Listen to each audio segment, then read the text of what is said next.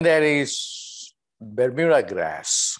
You can get this Bermuda grass and then hold the Bermuda grass and access Ganesha's energy through the Bermuda grass. You can get the Bermuda grass anywhere, and or if you have an Indian store, you can get, or now Amazon can may be able to get that too. The, the when you that is more important to do that than when you can do you can invoke Ganesha into the Bermuda grass and then pray and then also not only pray but communicate with Ganesha through the Bermuda grass.